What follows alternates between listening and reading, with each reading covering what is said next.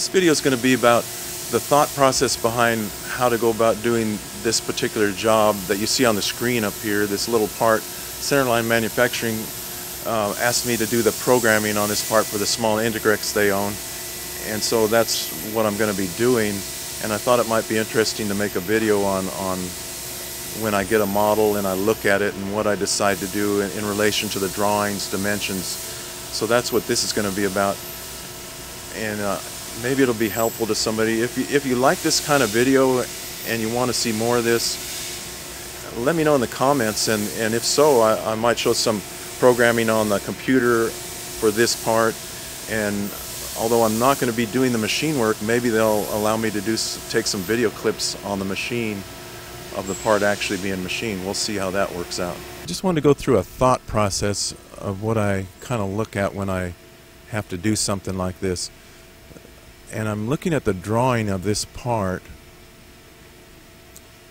and this here this diameter here they're, dimensioning as datum A and this face here is datum B.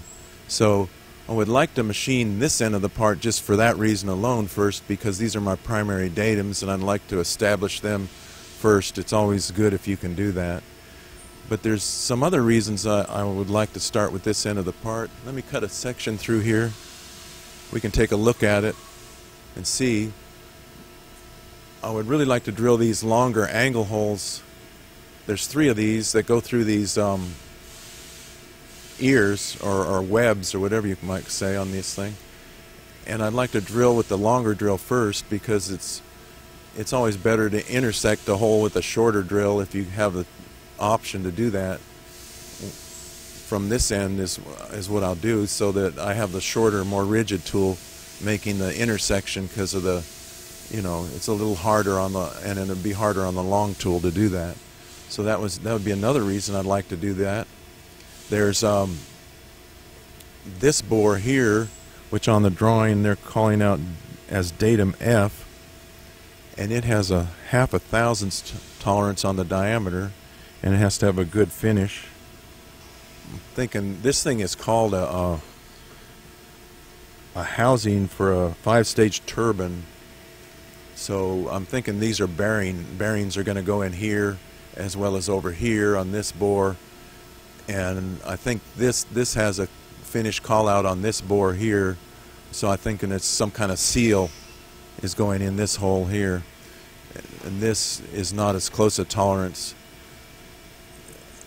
this this bore here actually has a, also a half a thousandths tolerance as well as this one.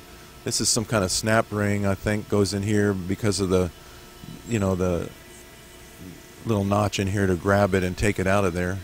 So but this datum F has to run true to a thousandth of an inch indicated runout to this datum A over here, which is the OD of the part and then all of this turning here has to run true to a thousandth of an inch run out to datum F. So it would be good to do all of that in one operation, turning it from this end. So, so I've drawn a little model just so we can talk about this here. I don't really absolutely need this to do the programming in the CAM software, but I just drew it so it would be clear on my explanation here.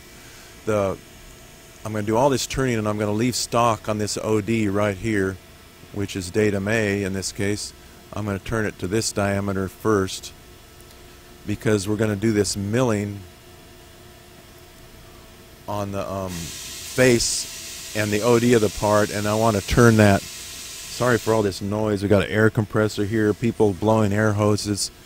It's kind of hard to make a recording here get decent sound so you kind of have to bear with me on that. But um, like I was saying, I want to do this milling before I actually finish this diameter or, or any of these real close tolerances on the bore here. But another reason is I want to turn this OD finish. We're going to finish this taper because these, this ends up being just the webs in the end. And this diameter down here, which isn't really a close tolerance, but I want it all to run very concentric to this datum A when it's done so that when we turn the part around, and we're going to be chucking on here on this datum A but just to indicate up close to the chuck you could get this running true right there but you could have an axial run out on the part. And in order to make sure that's not happening we, we will be able to indicate down here as well somewhere. And if we get this diameter and this diameter running true then we can be sure that this bore which has a, a plus or minus two ten thousandths of an inch tolerance on the diameter but also it has a thousandth of an inch total indicated run out to this datum A over here. So that's the reason that I want to turn, one reason I want to turn this diameter down like this. And this is just angling out to the rough stock here. So that's the turning operation as it would be. And, and we'll also turn in this face groove here on the turning part of it. Now the the pockets on the OD, we're going to rough out these pockets, but just rough them and leave stock. But the reason for that is is there's going to be a um, a tool to come back from this other side when this is all going to be turned away this on on the um, second side before we do this but these holes here have back spot faces or counterbores in them and they have to be done from this end so I want to, on this side, drill these holes so that I have a hole for my back spot face, but I also want to have a, a surface that's perpendicular to the tool. Let me, um, let me show you that in a section. I've, I've actually modeled that tool out, which is this. And if I select this plane, and we can get square to that plane, this would be the the back spot facing tool with a pilot on it to pilot on this hole because we're coming very close to the OD of the part here and we, and there's no there's no good way. I mean you could go in there maybe with drills and a flat bottom drill and maybe I'll uh, maybe I'll rough these out partially with the drill. I don't think so though. I think I'm going to come in here with this piloted counterbore tool and just do it in one shot.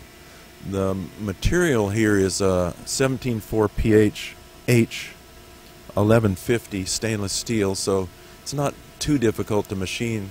I think I won't have too much trouble with that, so think we're going to do this with a piloted counterbore tool.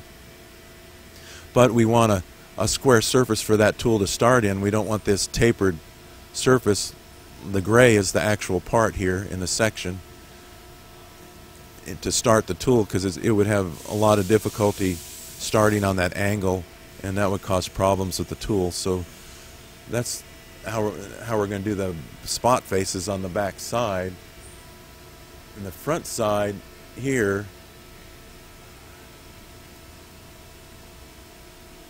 is going to have these pockets in it like this which we're going to machine in there and finish. We're going to finish this side. We're going to machine that in there, and we're going to have the um, the counterbore or this whatever you want to call this uh, face groove in there with the turning, and then we're going to machine these pockets on the face and finish the ID of them to a certain depth on the part, and then we're going to rough in this this back um, this back shape here. Uh, sometimes I find it easy to draw these simpler shapes of the model so that, that um, we're not dealing with a model like this that's all got complex shapes. It's Sometimes it's easier to program on the machine if you do that and you're not having to deal with all the complexities of this shape. I mean, I'll use this to come in and do the, you know, the corner radiuses and everything. So that's kind of the thought process of starting on this end of the part and why I would start on this end of the part. This other end of the part, these um, these these these three diameters are actually all the same diameter, have a half a thousand tol tolerance on them, and uh, they're only calling out a five thousandths total indicated run out to datum A for that. But if we've got it all lined up, we'll do that at the same time, of course.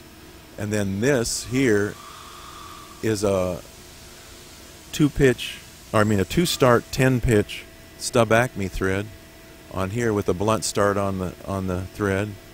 So that that we'll have to do as well.